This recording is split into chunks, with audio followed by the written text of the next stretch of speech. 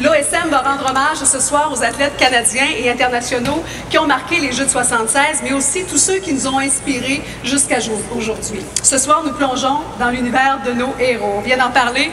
On est au rythme des Jeux de Rio avec déjà cinq médailles canadiennes en poche. Bravo à ceux qui sont allés chercher.